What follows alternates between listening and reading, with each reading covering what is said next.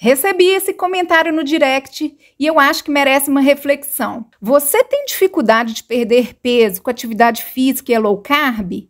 Porque aparenta ter gordura abdominal, ainda sempre que grave de lado, e alto peso, braços e pernas gordas. Por que, que eu acho que merece uma reflexão? Porque eu vivo na internet com a missão de ajudar. Quantas pessoas em um processo de transformação não vivem e convivem com âncoras, pessoas tóxicas e não entendem por que não conseguem seguir adiante e prosperar. Então, esta sou eu aos 13, 14 anos, provavelmente com uma resistência insulínica que na época não foi diagnosticada. Eu era obesa e comia carboidratos de 3 em 3 horas. Normal para recomendação da época, por uma criança. A segunda foto sou eu em minha formatura de nutrição, seguindo as recomendações da pirâmide alimentar, carboidratos na base. A idade que eu tinha, eu formei aos 23 anos. E a terceira foto sou eu, no meio do curso de nutrição, 21, 22 anos em média. Em todas, desde que me entendo por gente, fui do esporte. Nunca parei.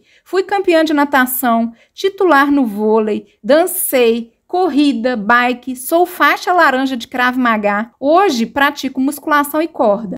Ah, perceberam algo em comum nas fotos? O sorriso no rosto e a alegria de viver nunca me faltaram. Mas voltando ao assunto, esta pulando corda aí sou eu. Sorriso no rosto, low carb, jejum e atividade física como sempre. Idade? Este ano completo 43 anos. 20 quilos a menos, sem resistência insulínica, sem diabetes do tipo 2, dentro do meu processo. Se tenho dificuldade, sim, nado contra correnteza. Nadar com tudo a favor é muito fácil.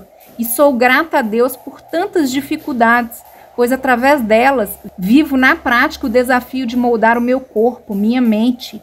Aprendi a ter remissões e, de quebra, ajudar as pessoas. Meus exames genéticos não me deixam mentir. O primeiro, vocês estão vendo aí o print. Um dos resultados mostra minha forte tendência ao diabetes do tipo 2. Eu tenho vários polimorfismos para o diabetes do tipo 2. Os meus genes também mostram alta tendência para baixa conversão de T4 em T3, ou seja, a forma ativa do hormônio tireoidiano. Isto mostra nitidamente a dificuldade que a minha tireoide tem em ser ativa.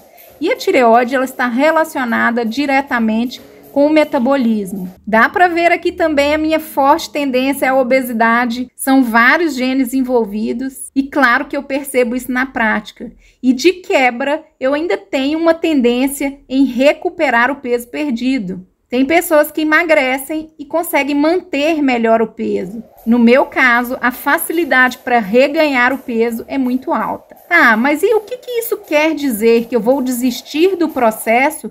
Eu vou deixar de fazer atividade física? Eu vou deixar de fazer a low carb só porque pessoas acham que minha perna e meus braços ainda são gordos? Que para mim pode ser sim um pouco mais difícil. E nem por isso eu vou deixar comentários me desestimularem para o que eu sei que é bom para mim.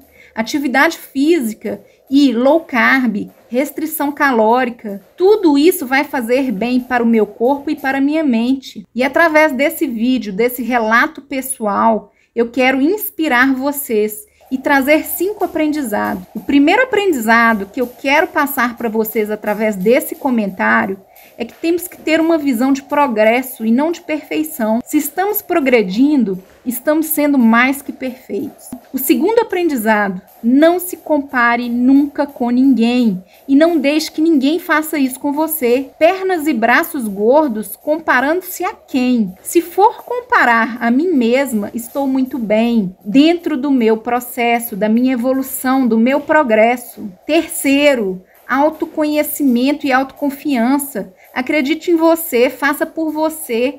Chegue até onde o resultado satisfaça você. É por você e não por ninguém. Muitos não acreditarão em você na sua pior fase. E para muitos, quando você estiver na sua melhor fase, ainda será pouco. O segredo está dentro e não fora. Quarto aprendizado: genética não é destino. Nade contra a correnteza, pode ser difícil, mas coloque na sua cabeça que você é capaz. Não é só estética, não viva de aparências. Tenha essência em tudo que se propuser a fazer, vale para tudo. Um exemplo, perca o pensamento simplista. Quem pensa que atividade física é apenas para ter um corpo bonito e sarado está muito enganado. Atividade física traz sim um corpo forte, mas junto uma mente forte, resiliente, tira da depressão, traz leveza para o corpo e também para a alma, salva vidas. Através do suor, elimina toxinas e, através da autoestima que proporciona, nos faz ser capazes de lidar com pessoas tóxicas. Apaixone-se pelo processo e não só pelos resultados. E o quinto e último aprendizado que eu quero passar nesse vídeo: fuja de âncoras. Elas te levam para baixo. Não aceite pessoas, situações e comentários como este em sua vida. Eu poderia apenas ter deletado, como faço com muitos, mas preferi utilizá-lo para ajudar você que sofre com esse tipo de abuso. Pessoas disfarçadas de bem intencionadas que comentam, opinam, são tóxicas. Não se deixe envenenar.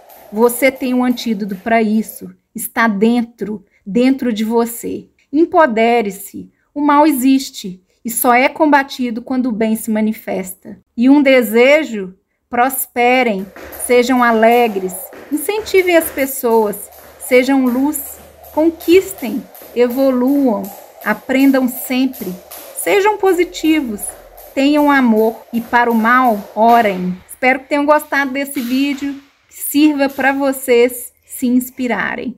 Vou te dizer uma coisa: vão falar do seu cabelo, vão falar do seu tom de voz, vão falar da sua altura, vão falar do seu jeito, mas o que de fato vai incomodar as pessoas a seu respeito é o que você é. O que mais incomoda as pessoas, elas não assumem isso. Elas nunca vão assumir. Arão e Miriam estão dizendo que elas estão com raiva de Moisés porque Moisés se casou com uma mulher, mas não é isso. Elas têm raiva de Moisés porque Deus escolheu Moisés. E você tem que estar preparado, entende isso?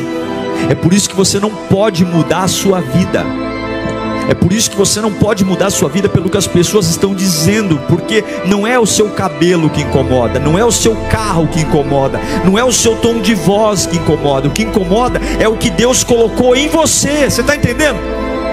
É o que Deus soprou em você que incomoda. É por isso que incomoda tanto.